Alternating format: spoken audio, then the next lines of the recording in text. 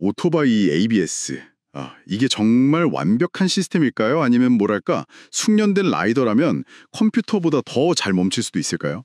그래서 ABS에 대한 어떤 통념들 그리고 실제 성능 사이에 그 흥미로운 지점들을 한번 파헤쳐 보려고 합니다.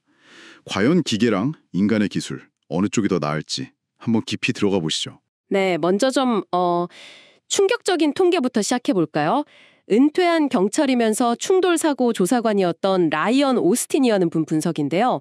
심각한 사고에 연루된 라이더의 80%, 진짜 80%가 브레이크를 아예 안 잡거나 아니면 뒷브레이크만 쓴대요.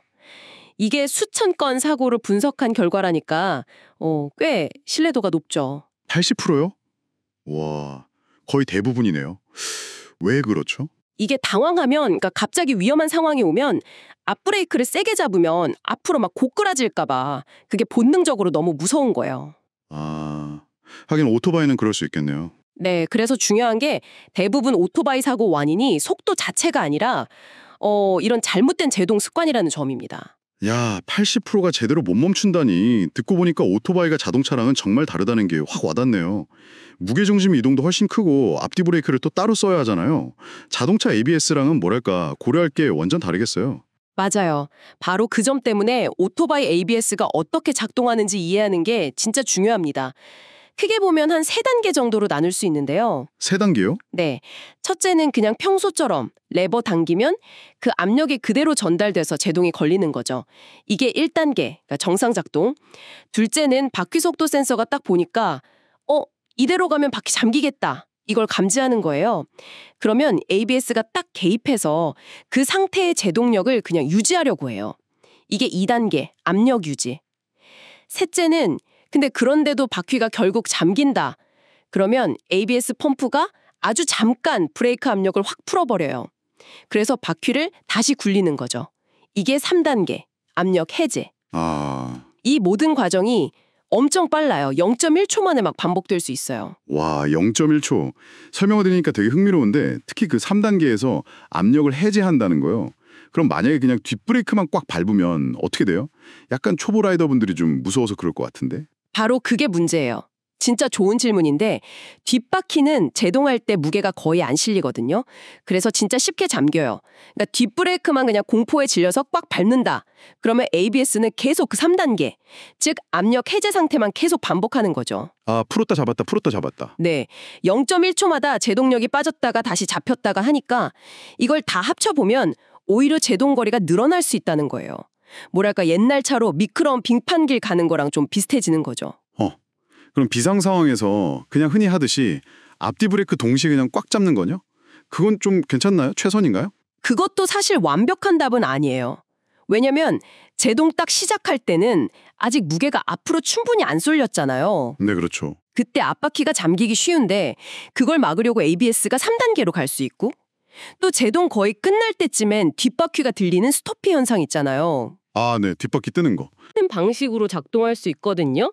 그러니까 결과적으로 가장 짧은 거리에서 딱 멈추지는 못할 수도 있다는 거예요. 안전은 확보하는데 어, 최대 제동력은 좀 포기하는 거죠. 음, 그렇군요. 여기서 이제 숙련된 라이더랑 차이가 나는 건데요. 진짜 잘 타는 분들은 무게 이동을 예측하고 또 몸으로 느끼면서 브레이크 레버를 처음엔 좀 부드럽게, 그 다음엔 점점 강하게 이렇게 조작하잖아요. 네네. 그러면서 바퀴가 잠기기 딱 직전에 그 최대 제동력 이걸 계속 유지하는 임계 제동 기술을 쓸 수가 있어요. 이건 예측을 기반으로 한 능동적인 조작이죠. 근데 ABS는 기본적으로 바퀴가 미끄러지는 걸 감지한 다음에 반응하는 어찌 보면 좀 수동적인 시스템이거든요. 아, 먼저 일이 벌어져야 반응하는 거군요. 그렇죠. 그리고 또 하나는 사람은 진짜 위험하면 충돌 피하려고 뒷바퀴 들리는 스토피 위험을 감수하고서라도 더 세게 잡을 수 있잖아요. 근데 ABS는 그냥 프로그래밍 된 대로 항상 안정성을 최우선으로 하니까 제동거리를 좀 희생할 수밖에 없는 거죠. 와, 설명을 듣고 보니 그럼 정말 숙련된 라이더라면 ABS보다 더 짧게 멈추는 게 가능하다는 거네요? 이론적으로는? 네, 어, 특정 상황에서는 가능합니다, 분명히요. 특히 그냥 아무 생각 없이 패닝 상태로 브레이크 레버를 그냥 꽉 움켜쥐는 거랑 비교하면 숙련된 인계 제동 기술이 당연히 더 나은 결과를 낼 수 있죠. 하지만 이건 진짜 중요해요.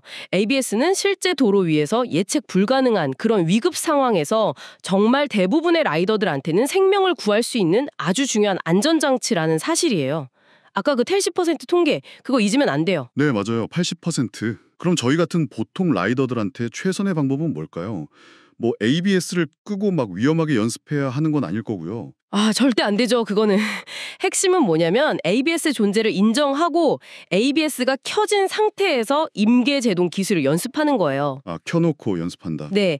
이렇게 하면 ABS의 그 1단계 정상 작동하고 2단계 압력 유지의 장점을 최대한 활용하면서 불필요하게 3단계 압력 해제가 작동하는 상황을 줄일 수 있어요. 그러니까 뭐 ABS 없이 막 위험하게 제동하거나 아니면 그냥 레버만 세게 당기는 그런 비효율적인 방식보다 훨씬 안전하면서도 효과적으로 제동 거리를 단축할 수 있는 거죠. 결국은 뭐 꾸준한 연습이죠. 연습이 답입니다. 네. 오늘 이야기 쭉 들어보니까 음, ABS는 분명히 중요한 안전망인데 그렇다고 만능 열쇠는 아니다. 뭐 이런 거군요.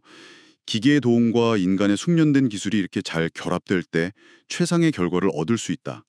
단순히 그냥 ABS가 있냐 없냐 이것만 따질 게 아니라 올바른 제동 기술을 내가 익히고 연습하는 게 내 안전에 훨씬 더 근본적으로 중요하다. 이런 말씀이시네요. 바로 그겁니다. 네. 그래서 마지막으로 이런 질문 한번 던져보고 싶어요.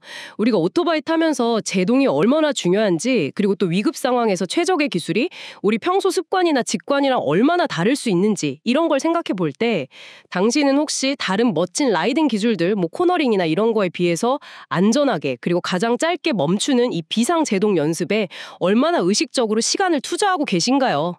어, 한번 스스로에게 진지하게 물어볼 가치가 있는 질문이 아닐까 싶습니다.